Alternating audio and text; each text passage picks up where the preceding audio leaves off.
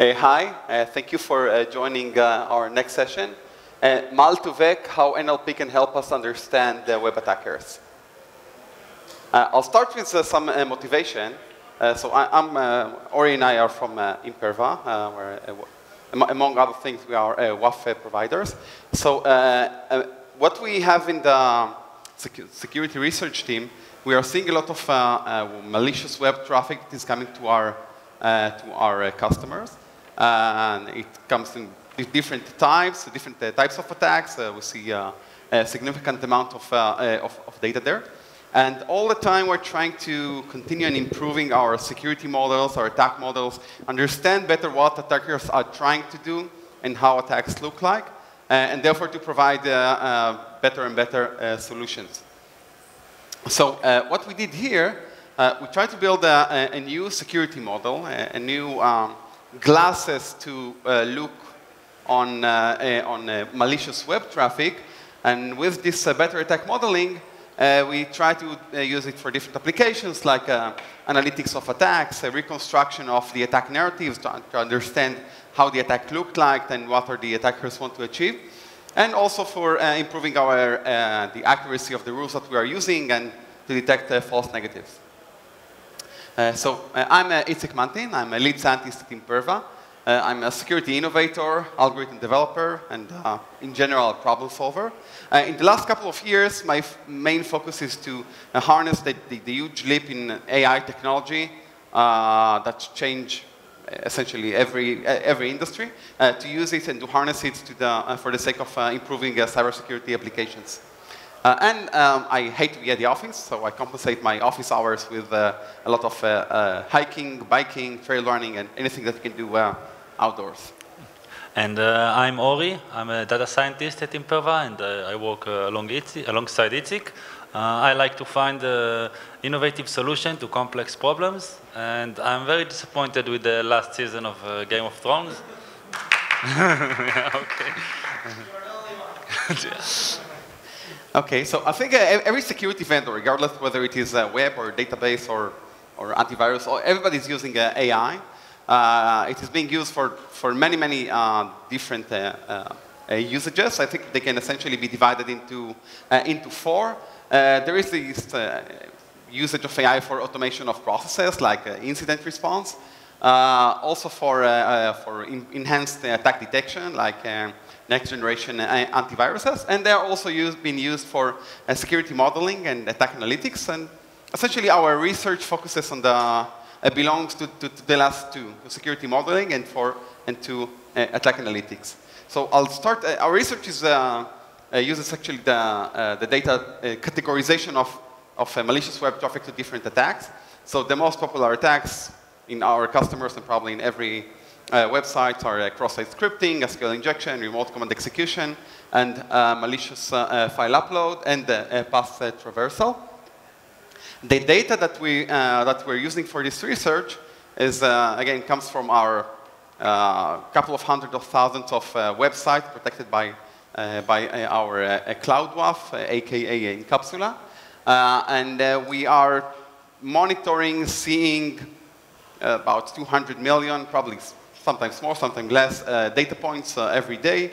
Uh, each one of them uh, represents suspicious activity that was detected in, in, um, in uh, uh, web requests that arrived to one of our customers.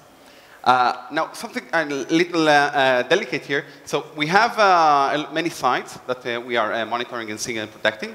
now, our purpose within this research is to understand the attacks and to model the attacks.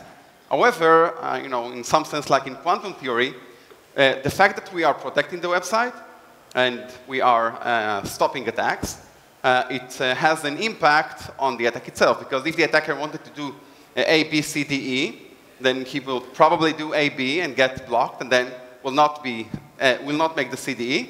however, we have a significant amount of customers that are working in alert-only mode. So we focus the research on data that came from them, and in that sense, we get uh, this uh, benefit of uh, looking at, at attacks from the beginning uh, uh, till the end, without impacting by our analysis or our presence the, the progress of the attack. And uh, the model itself, uh, we're using um, a model that is called the Word2Vec. How many here in, this, uh, in the audience are heard about the Word2Vec?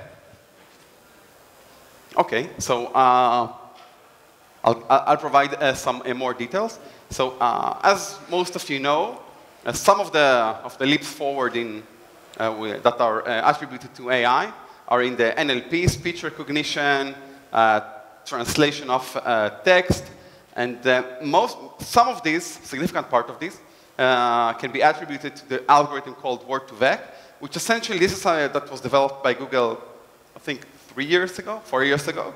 Uh, and what the algorithm does, it takes all the words in the language based on a large corpus of, of, of text, and uh, it uh, does embedding of these words within a high-dimensional space in a way that uh, words that are contextually uh, related uh, are getting uh, very similar, uh, getting uh, embeddings that are very close to each other. And the reason for that, there are several reasons for that. Some of them are very specific to NLP, but other motivations to do that is that it facilitates a lot of very fast calculations. for example, in clustering application, you usually have to calculate an you know, an n, n by n a quadratic a distance matrix between the objects in your system, which is sometimes uh, very, very uh, heavy. Uh, but if you do this embedding, then it is very, fairly easy to find uh, the, uh, the close vectors to a given, uh, to a given object and to do it faster. And Word2Vec captures well a contextual relationship. and as probably those that are familiar with web attacks, you know that web attacks are not you know, just pixels that are standalone and don't, uh, are not related to each other. If you see something, if you see SQL injection, then you are very likely to see another SQL injection. And you are very likely to see another SQL injection. So uh, this uh, idea of uh, words and sentences uh, is uh, well fits the, um, the web application security. The way Word2Vec works, it is based on a neural networks that does an optimization uh, for uh, this embedding. And there are several variants. Some of them are uh, treat uh, the order of the words, uh, like something that is called a skipgram. Uh, the one that we use is called bag of words. It's independent of the order. So it doesn't care about whether I comes before love or love comes before I. It just treats them in the same way, which is, um, ma makes more sense in our arena. Uh, the, the, the, success of uh, Word2Vec in, uh, uh in NLP attracted other domains who try to harness the same success uh, to their world. And indeed, there are, uh, in the bioinformatics arena, there are algorithms like uh, Gene2Vec that takes genetic sequences and that does their embedding within such a space. Gig2Vec, I heard in the Fiverr, Business2Vec, I heard just last week in, uh, in data science conference in Jerusalem, and actually there is this kind of a trend of uh, anything to VEC, and we said, why not? Why not having uh, the malicious uh, web uh, traffic uh, to VEC, or in short, uh, Mal2Vec, and join the party. So here is the, essentially the zoom out of the flow that we are, of the processing that we are doing. So we start with attack data points. Attack data points, they have different types. These types are represented here by colors. A spoiler, we're going in the, um, when we are going to show the embeddings, they will also be uh, such a, a, color coding. Uh, we do, uh, we aggregate the attacks into sessions in a way that uh, Ori will elaborate on uh, later on. And we then uh, convert the sessions from the attack arena to the, eh, to the language arena. We convert them into sentences. And then we activate the Word2Vec algorithm to do the embedding. Now, uh, the Word2Vec can work, can generate uh, vectors of, of, of different uh, sizes. So we use uh, 30 dimensions in, or, in order to uh, give us and you the opportunity to see all these vectors together. Uh, we used an algorithm for a dimensionality reduction, which is called a, a TSNE, a TSNE, in order to throw them into a two-dimensional subspace, and the result is there. Okay, so um, what we did exactly for this model we started with the session aggregation, uh, which means that we take uh, malicious requests that came, uh, that came separately, and we, aggregate, we aggregated uh, those requests into a sentence. So a sentence uh, uh, or a session is not the same when we're talking about HTTP session. Uh, I'm going to explain exactly what do I mean by that.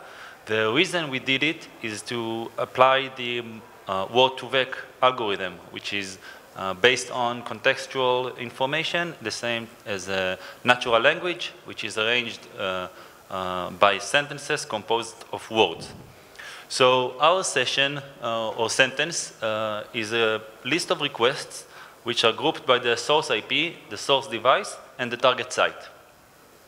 Um, and we also added a separation of a 15 minutes interval, meaning that if we did not see any request in that session for 15 minutes, then we split it uh, into two separate sentences. So this is what we did with the, with the, sep, uh, the single request and aggregated uh, into a single sentence. So the next, uh, the next thing we had is we wanted to model the attacks, the vector of the attack, um, but we had the insight of the um, security rules that were triggered. So a malicious request is composed of the attack type, uh, SQL injection or XSS, etc., and it has the malicious uh, action, the exploit uh, of the vulnerability or a payload.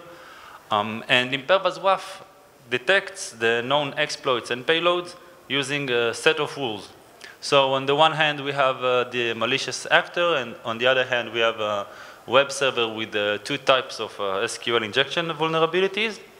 Um, and the attacker uh, creates malicious requests and sends them through the WAF, which uh, then blocks these requests using the security rules.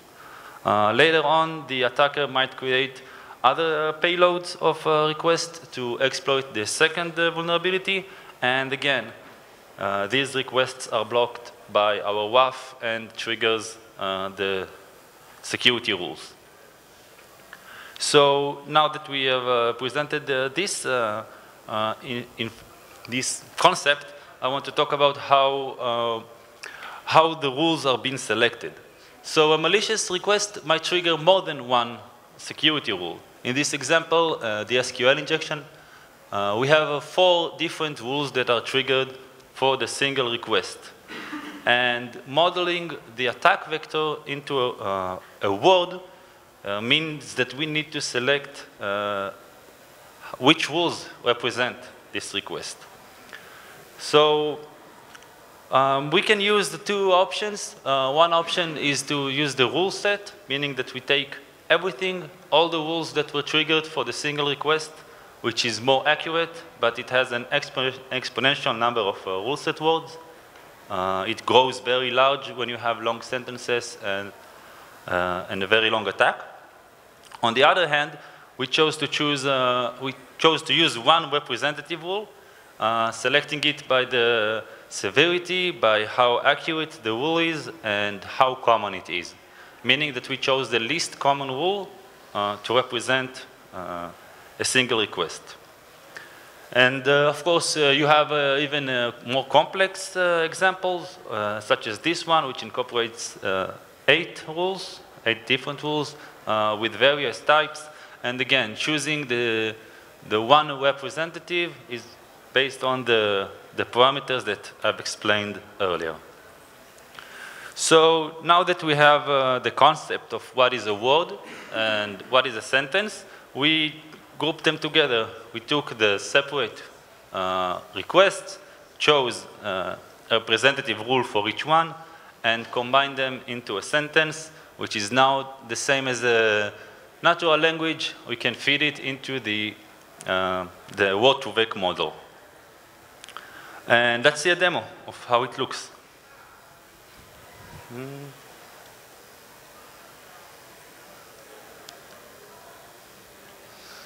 Okay, thank you, Ori.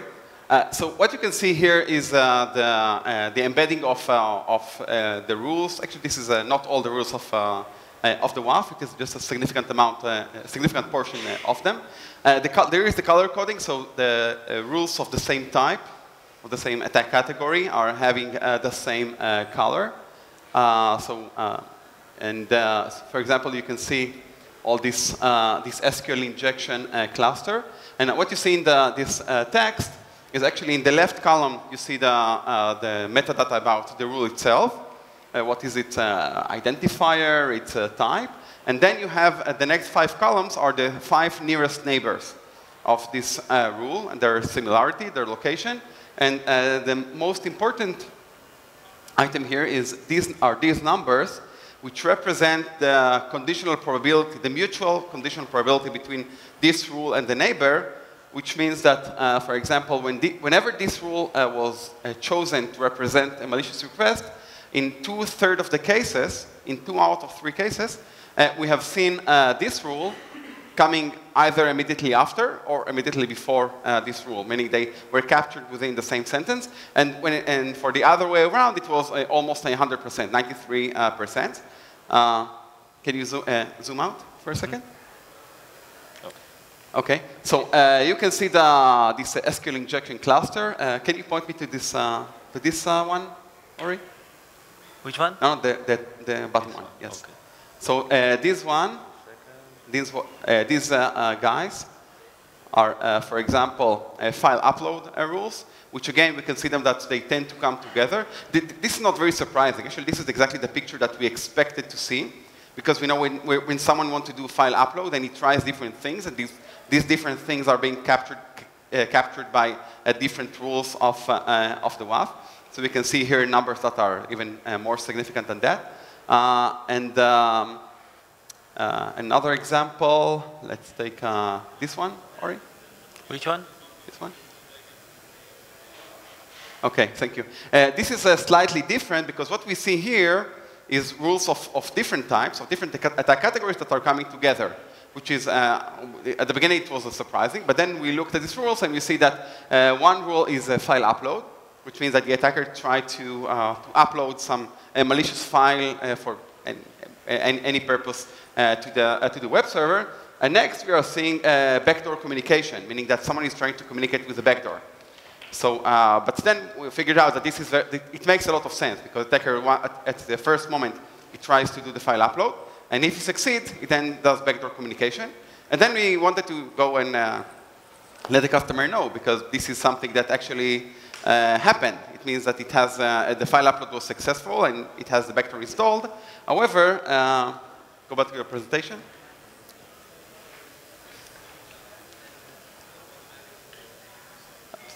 So uh, our, uh, some of our security experts provided an alternative explanation.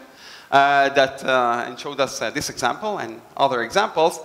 this is, I think, is called X-Attacker, which attacks um, a plugin called Cherry, where there, there is the, the attack script. What it does is first it tries to do the file upload, the, the upload of the backdoor, and immediately later, maybe even in order to validate that it was successful, he uh, goes and tries to communicate with the backdoor. So uh, what we've seen was not necessarily an, a successful uh, file upload, but maybe uh, an unsuccessful one. Okay, so after uh, modeling uh, our uh, Word2Vec uh, version, which we called Mal2Vec, we came up with a few applications. What can we do with it? Uh, the, first, the first application was to find uh, false negatives. and by which I mean that we have, we have some security rules which are in research mode, meaning that they are not blocking, usually we use it uh, to gather information and intel about what's going on uh, over the network of our customers. Sometimes these rules are just regular rules in uh, staging mode, which means that we want to move them to blocking, but we test them before. So using uh, our uh, version of Word2Vec, we were able to identify uh, such rules in research mode, which correlates highly with the other blocking rules and which is suggested to us that we can use these research rules and maybe create a new blocking rule to capture the uh, attacks that we are not uh, currently protecting against. And I'm going to show you an example of such such a rule.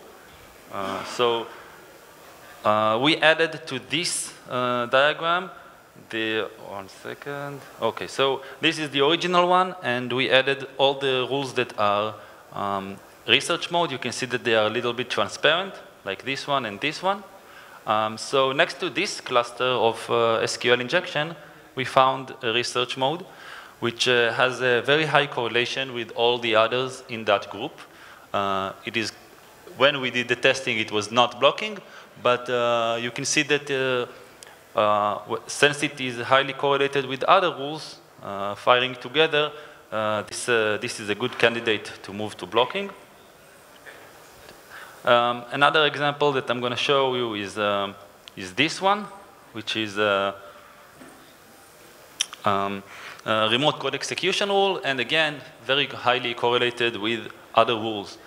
All of this information based on uh, many, many attacks and requests is very visible thanks to the, um, to the Word2Vec model and the t-SNE um, dimensionality reduction, uh, which is this uh, diagram that you can see. So an example, a concrete example of such rule is uh, is this one, which is uh, the research rule is uh, um, an attack uh, against the Apache Struts vulnerability uh, with uh, over 900,000 hits in three months, and it highly correlated with the path traversal uh, attack, over 700,000 hits per, per, in three months. And the dominant client used to launch these attacks was the White Hat vulnerability scanner. And in our model, in the Word2Vec similarity, we got a 99.9% uh, similar between these two rules. And so this was the, the main motivation that we came up with uh, to begin with, what we wanted to, to achieve. Um, another application that I want to present here is uh, scanner modeling. So we wanted to detect uh, automatic tools which uh, impose, impose impersonate to be a browser. So uh, how we did it? We created a separate Mal2Vec model for a common scanner, one model per scanner. We selected an attack sentence which uh, has a browser uh, as a user agent, uh, Chrome or Mozilla or Firefox. And then we found the model which uh, has the highest correlation with that sentence. And the result was the probability for each model to be the origin of that, uh, that sentence or that attack. So this is a, a, concrete example. You can see here that the user agent is uh, Mozilla Chrome, and the sentence is uh, composed of uh, path traversal, file upload, an automatic attack, and remote code execution. Uh, on the left, you can see the rules numbers, and on the right, the types. And diagram shows the probability um, that the model produced for each of these uh, tools that we, that we modeled. Um, more examples uh, are, are, here. You can see the Nessus uh, uh scanner, the sqlmap, which not surprisingly, uh, based on the SQL injection attacks. And you can see, uh, on the other hand, that you don't always get the most perfect prediction or correlation. Sometimes you have two set of scanners which correlates with, with high, high correlation to the attack. Uh, but it gives us um, better understanding about the origin, uh, even though we ignore the, um, the uh, I don't know, the declared uh, web, web application or, or user agent. Thank you, Ori.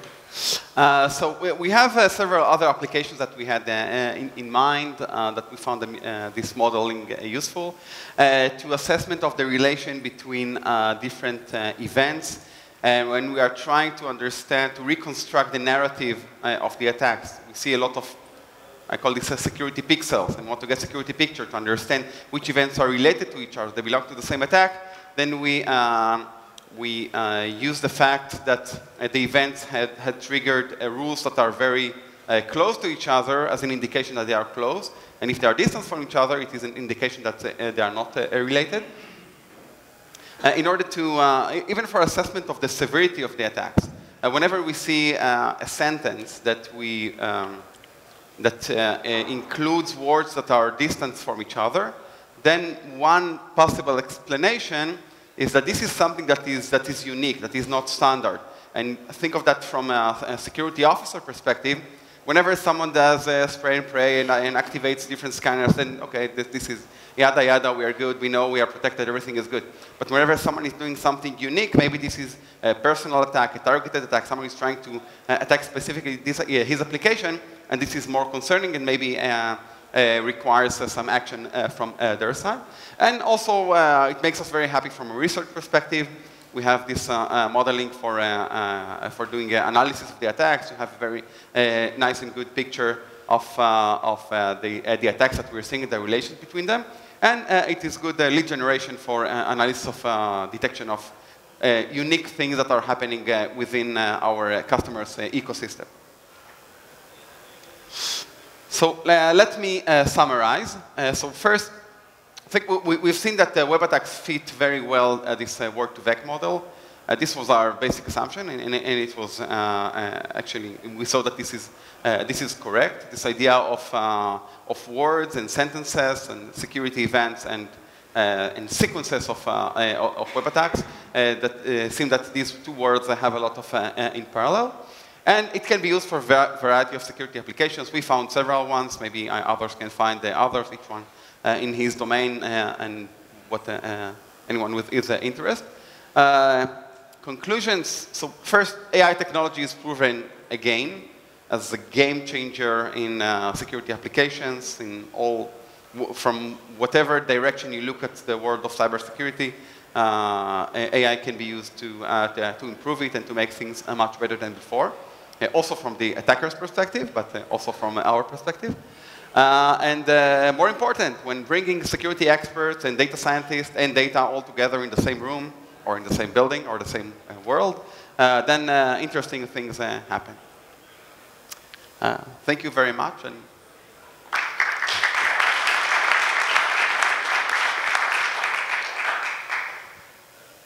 any questions?